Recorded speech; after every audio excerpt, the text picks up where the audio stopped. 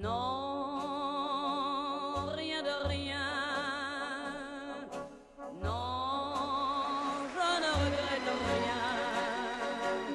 Car ma vie, car mes joies, aujourd'hui, ça commence.